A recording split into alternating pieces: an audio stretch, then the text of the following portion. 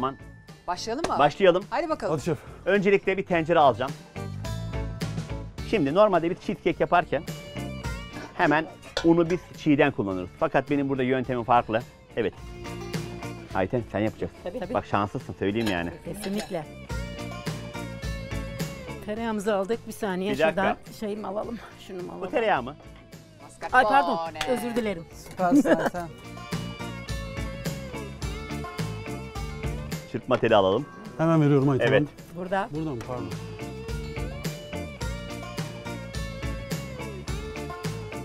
Evet unumuzu alacağız. Kavuracağız değil mi? Kısıktayız değil mi? Kısıktayız. Un mu kavuracağız? Evet un kavuracağız.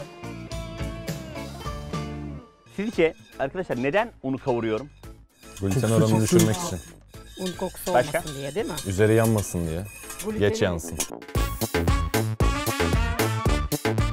Evet onları iyi kavurmamız lazım. Daha ince çırpma teli var aslında onu mu alsak?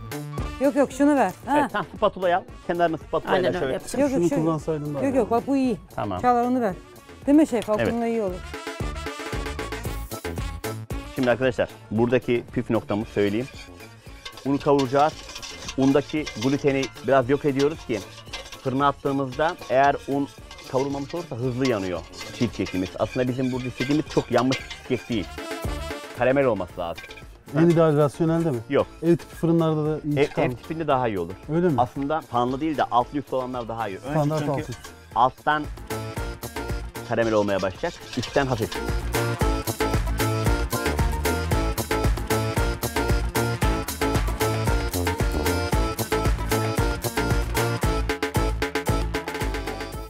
Dur çok karıştırmayalım.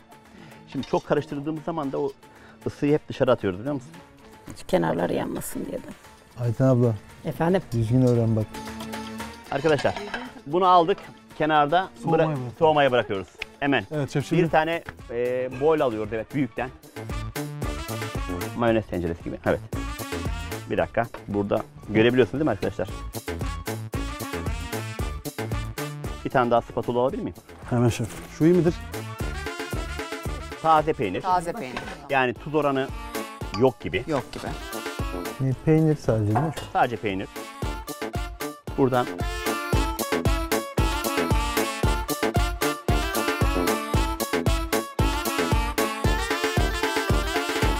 Yani bak- hemen arkadaşlar geçen sefer ne demiştim ben hatırlıyorsunuz değil mi? Elime onu atıyorsam ne isteyeceğimi bileceksiniz. Vallahi Öykü Hanım bravo Değil size. mi? Bak Öykü Hanım bu kadar kişi geldi. Şefin bir sonraki adımı düşünmeniz lazım.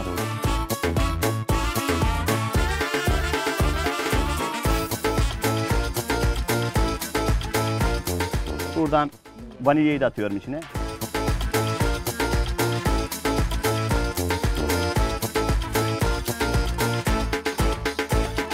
Yaparken şöyle tabandan ezerek. Bak bu çok önemli detay. Kütürük olmayacak. Çünkü olmayacak.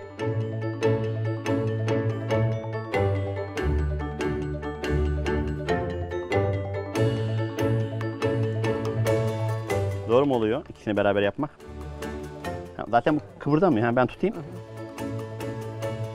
Bak bir şey söyleyeyim. Çırpma. Sadece ez. Şef bunu mikserle yapsak ne olur ki? Niye biliyor musun?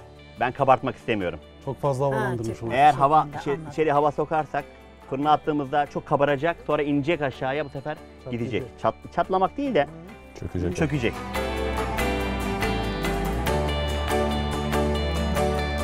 Bir küçük daha şu kabı da alabilirim. Bunu da Murat sen gel yap ya. Hadi. Bir spatula. Bunu da ezeceğiz.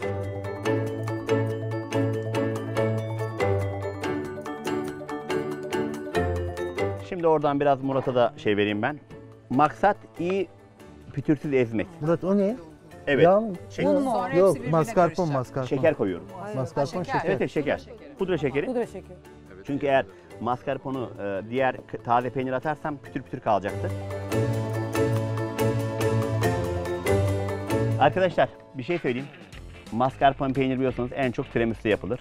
Ama bazı hatalar şöyle oluyor. Mascarpone'u alıyorlar. Mikserde geçirdiği an bir anda kesiliyor. Hiçbir zaman mascarpone peyniri mikserde geçirilmez. Spatula ile ezmek lazım. Çünkü ısı ve yağ oranı çok yüksek. Yağ oranı yüksek olduğu için e, pütürleşmeye başlıyor bu sefer şey oluyor, kesilmiş gibi oluyor. O yüzden bunlar detaylar. Bak bir mascarpone bir de şey. veya da bunu bunun yerine ne kullanabiliyor musun? Güzel bir e, manda kaymağı. İnanılmaz. Çünkü Ne güzel olur. Evet yerine koyulacak şey de önemli. Manda kaymağını da bilmekte fayda var. Çünkü Herkes neden? mascarpone. evet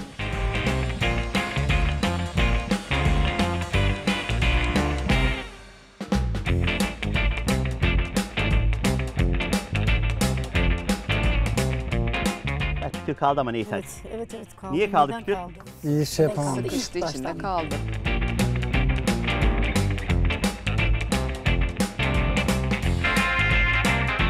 Türler kalıyor. Yani o önemli. İlk etapta e, karıştırma gibi yaparsan olmuyor. Ezme gibi yaparsan daha iyi oluyor. Soğudu mu? Evet evet soğudu Evet. şef. Şimdi.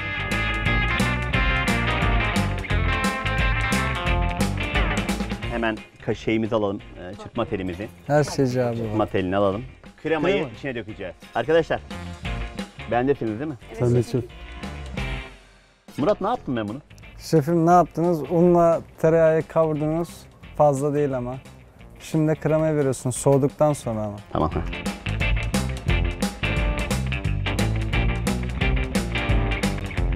Herkesin bir el şeyi vardır ya. Şurada işte kaç kişiyiz?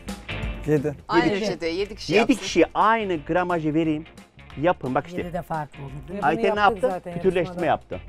Biriniz unu fazla kavuracak, diğeriniz az kavuracak, diğeriniz fırına atarken alta üstte falan. Erken alacak, Bunlar geç erken. Daha fazla video izlemek için kanalımıza abone olabilir. İlk izleyen olmak isterseniz bildirimleri açabilirsiniz.